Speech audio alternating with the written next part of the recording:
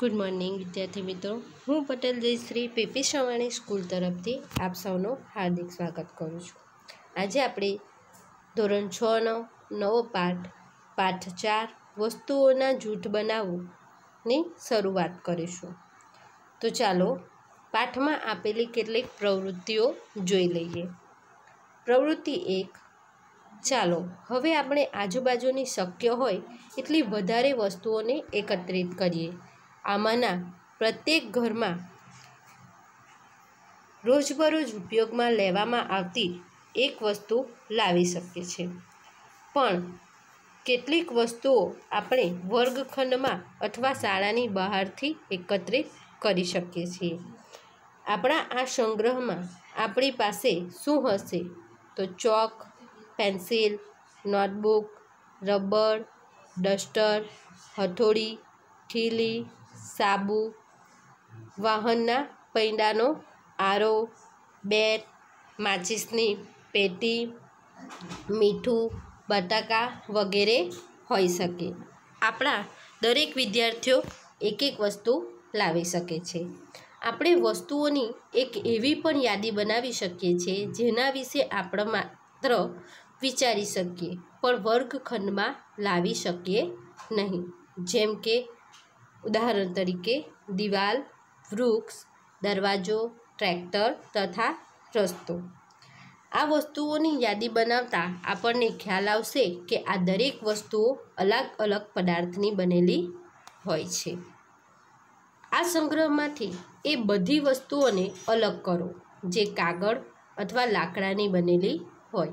અહીં આપણને બે સમૂહ બનાવવાના કીધા છે.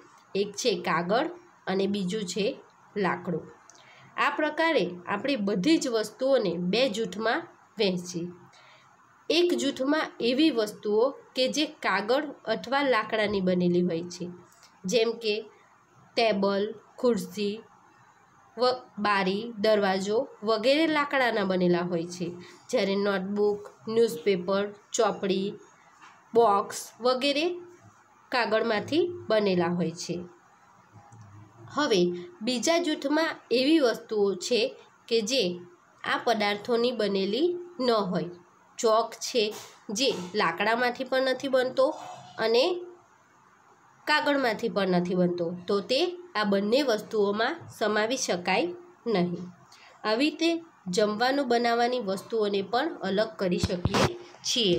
જેમ કે અનાજ, કઠોળ, શાકભાજી વગેરે. તો ચાલો હવે આપણે થોડું વ્યવસ્થિત કામ કરીએ. ભેગી કરવામાં આવેલી બધી જ વસ્તુઓને કોષ્ટક ચાર પોઈન્ટ એકમાં યાદી બનાવો. પ્રત્યેક વસ્તુઓ જે પદાર્થની બનેલી હોય છે તેને ઓળખવાનો પ્રયત્ન કરો. શક્ય તેટલી વધારે વસ્તુઓ વિશે માહિતી એકઠી કરો. આ કોષ્ટકને ખૂબ મોટું બનાવવાની મજા પડશે. કેટલીક વસ્તુઓ કયા પદાર્થમાંથી બની છે તે જાણવાનું મુશ્કેલ હોઈ શકે. આવા પદાર્થોની ઓળખ માટે મિત્રો, શિક્ષકો તથા વડીલો સાથે ચર્ચા કરો. તો તમે જોઈ શકો છો, કોષ્ટક ચાર પોઈન્ટ એક, વસ્તુઓ અને જે જેમાંથી બનેલ છે તે પદાર્થ. અહીં આપણને બે ઉદાહરણ આપેલા છે.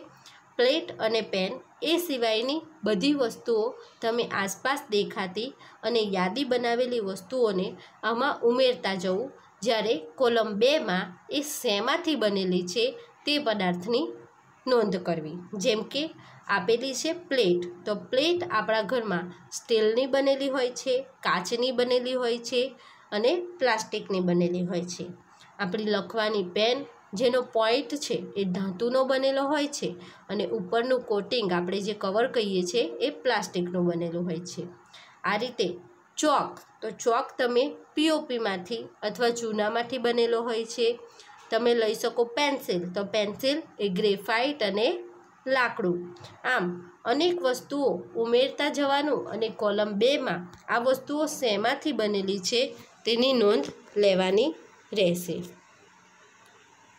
હવે પ્રવૃત્તિ બે કે કોષ્ટક ચાર પોઈન્ટ બેમાં કેટલાક સામાન્ય પદાર્થોની યાદી આપવામાં આવેલ છે.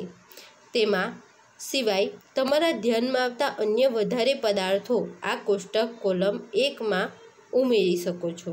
હવે દૈનિક ઉપયોગમાં આવતી એવી વસ્તુઓનો વિચાર કરવાનો પ્રયત્ન કરો જે મુખ્યત્વે આ પદાર્થની બનેલી હોય અને તેની કોલમ બેમાં યાદી બનાવો.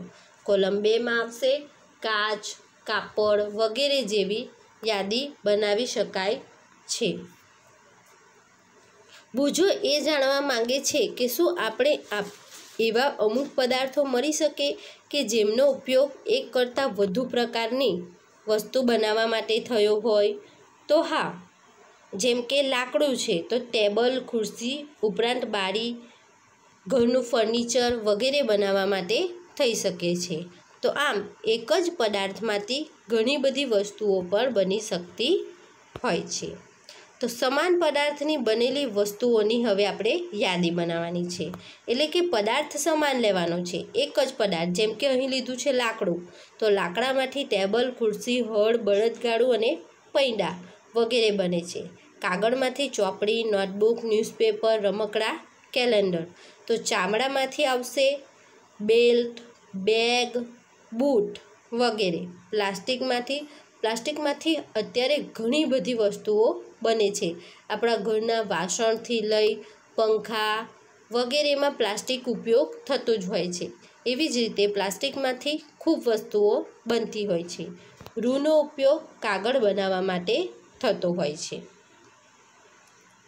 રૂનો ઉપયોગ કાપડ બનાવવા માટે, આ ઉપરાંત ઊન વગેરે, સ્વેટર વગેરે જેવા કપડાં બનાવવા માટે થાય છે.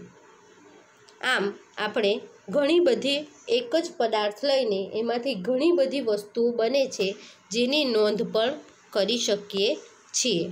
હવે, આપણને આ કોષ્ટક પરથી શું ખ્યાલ આવે છે કે પહેલાં આપણે જે વસ્તુઓને જુદી જુદી રીતે જૂથમાં વહેંચી, તેના બાદ આપણે જે જાણકારી મેળવી કે આપણી આજુબાજુની વસ્તુઓ અનેક પદાર્થની બનેલી હોય છે. કેટલીક વખત કોઈ વસ્તુ એક જ પદાર્થની બનેલી હોય છે, એવું પણ બને કે એક જ વસ્તુ ઘણા પદાર્થની બનેલી હોય છે.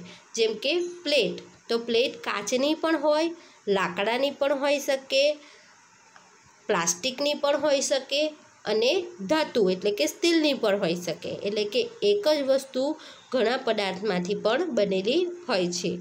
વળી એક જ પદાર્થનો ઉપયોગ કરી ભિન્ન વસ્તુઓ પણ બનાવી શકાય છે. જેમ કે એક જ પ્લાસ્ટિકનો ઉપયોગ કરી ટેબલ, ખુરશી, પેન વગેરે પણ બનાવી શકાય છે. કોઈપણ વસ્તુ બનાવવા માટે કયા પદાર્થનો ઉપયોગ કરવો તે કેવી રીતે નક્કી થાય છે તો આ માટે આપણે હવે પાઠને વધારે ચર્ચા કરવાની જરૂર રહેશે, જે હવે આપણે આવતા વિડીયોમાં કરીશું.